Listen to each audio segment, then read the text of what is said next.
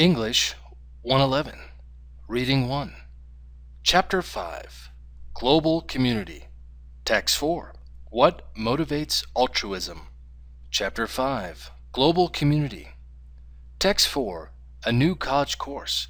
What Motivates Altruism? Why do some people like to do good things such as helping others or saving the environment?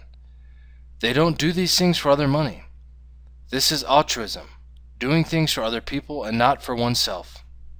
Two Chico State University, California professors wondered, What motivates altruism?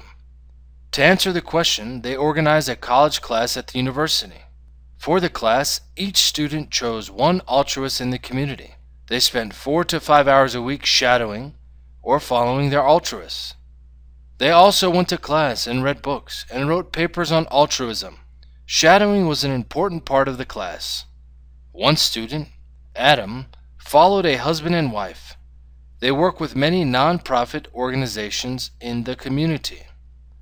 Adam and the couple went shopping with elementary school children to buy holiday gifts for poor families. Adam also had dinner with the couple once a week and had many discussions with them about helping others.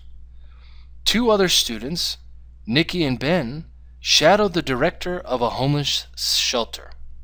The students served food to homeless people and they helped the director raise money for the shelter.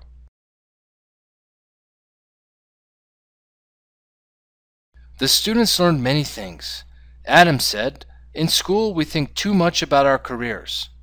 This class helped us remember that there are other important things in life. I also learned that I can help others as a career.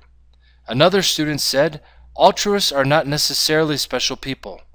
They are just ordinary people who do special things. The student also learned about the motivations for altruism. One altruist told a student, I work for the community because the community helped me in the past. Another said, I get great satisfaction because I know that I am helping others. Recognition for my work is not important.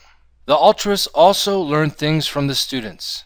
The students' questions made them think. They learned more about themselves and their motivations. This has helped the altruists to become even better at their work. The class on altruism was not easy for the students. They spent many hours with their altruists. They also read 250 pages every week. They read the works of great thinkers and philosophers, people such as Martin Luther King Jr. and Immanuel Kant, who think and write about the meaning of life. They wrote many papers, kept a journal, and took exams. Was it a useful class, as Adam said? The class was difficult, but it was worth it. I learned a lot. This experience will stay with me for the rest of my life. End of text 4.